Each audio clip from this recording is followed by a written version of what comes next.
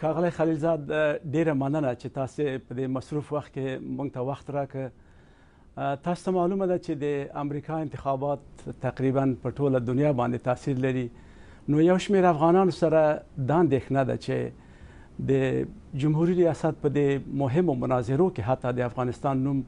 یاد نشو نو هغوی داسې فکر کوي چې یا به افغانستان اهمیت له لاسه ورکړی وي او یا ښايي امریکایان فکر کوي چې دا جګړه نوره پای ته رسېدلې ده. تاسې په دې برخه کې څه نظر لرئ؟ دا ممکن یو مثبت جنبه ولري، ځکه چې داسې معلومېږي چې افغانستان په باره کې شدید مخالفت د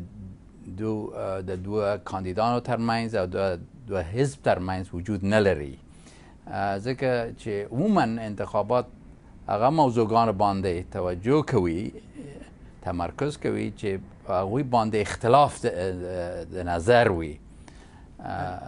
اما اوس داسې معلومیږي چې د افغانستان پاره کې تر اوس یو مهم انتخابات نقطه نظر نه اختلاف وجود نداری تاسو د امریکا د پالیسۍ د یو متخصص په توګه د که چیرې هیلري کلنټن کامیابه شي او یا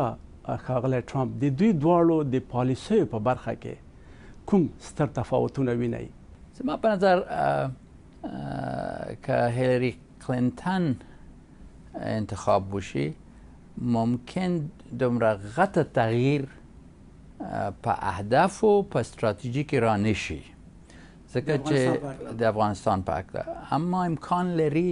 چې د پاکستان په باره کې یو نوې کتنه وشي ځکه چې یو عمومي نظر په امریکا کې دا دی چې د امریکای سیاست په پاکستان باندې تر اوسه پورې یو موفق سیاست نه وو او ځینې نظریات هم وجود لري لکه ځینې وایي چې باید پاکستان مکمل انزوا ته باید لاړ شي تر هغه پورې چې سیاست یې تغیر وکړي ځینې وایي چې پاکستان په لیست هغه ممالک چې د تروریستانو طرفداري کوي په هغه کې شامل وشي ځینې وایي چې کمک پاکستان ته کاملا یا غیر انسانی بشری کمکونه طول باید قطع وشي اما یو نظر کلی نظر وجود لري چې ټول وایي چې باید یو نوې کتنه ته ضرورت ده د افغانستان په باره کې فکر کوم چې ممکن یو نوې کتنه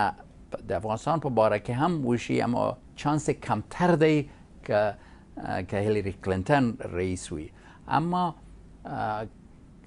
که نتیجه د انتخابات دا وشي چې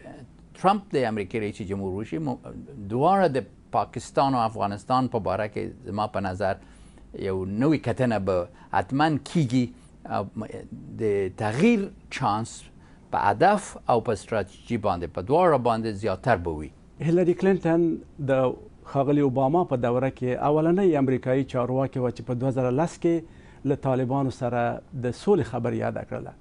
هغه وختي وویل چې موږ هم په یو وخت کې هم جګړه کوو هم خبرې کوو. خو تر اوسه موږ وینو چې داسې خاص پرمختګ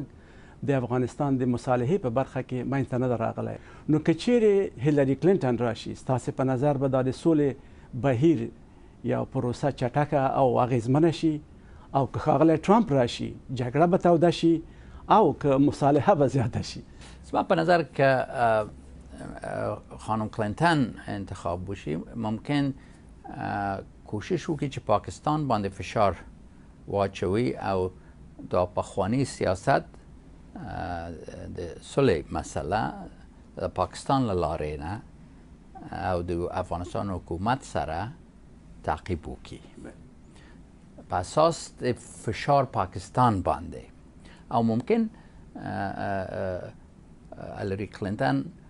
د امریکای قوا په افغانستان کې تعداد لیک ونکي پس له دینه چې په دا تعداد چې اوس په افغانستان کې دي پاتې شي دا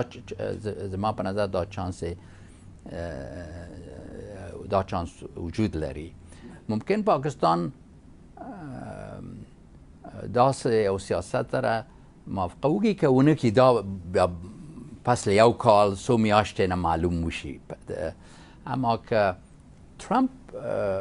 انتخاب وشي چانس دا ده چې امریکا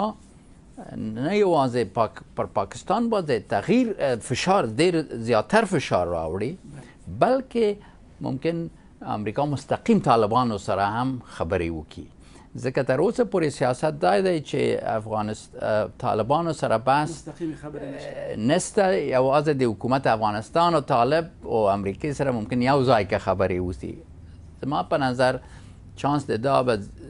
زیاتره وشي چې امریکې مستقیم طالب طالب سره خبرې وکړي ښاغلی خلیلزاد ډیره مننه ستاسو له وخت نه